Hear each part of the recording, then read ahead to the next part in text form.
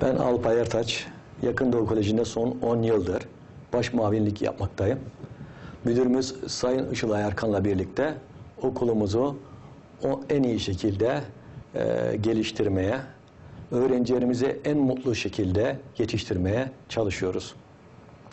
E, okulumuzda müfredatların uygulanması, sınıf öğretmenlerinin tespiti, nöbetçi öğretmenlerin tespiti, bunların denetlenmesi, öğrencilerimizin en iyi şekilde evlerden aranması, öğle yemeklerinin verilmesi, bütün bunların takibini yapmaktayız ve pırıl pırıl öğrencilerimizi ortaokul bölümünde en iyi İngilizce seviyesiyle Almanca, Fransızca ek olarak ve ortaokul sonrası da ÖSS ve GC alanlarında uluslararası sınavlarda en başarılı şekilde yetiştirmeye çalışıyoruz.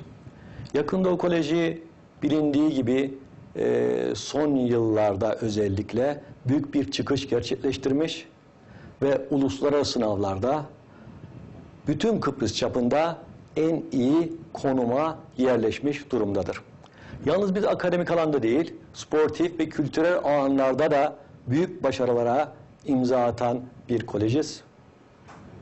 Sosyal faaliyetlerimiz çok ileri noktalardadır.